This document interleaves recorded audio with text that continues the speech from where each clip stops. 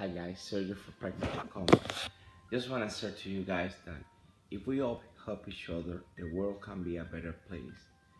I know that the Bible said that what your left hand do, the right one doesn't need to know, and vice versa. Sorry if I'm butchering the, the verse, but what I'm trying to say is that martial arts should bring us all together and we should be trying to help people. We, we need to stop um, killing each other. We need to stop hurting each other. We should be doing good things to make the world a better place.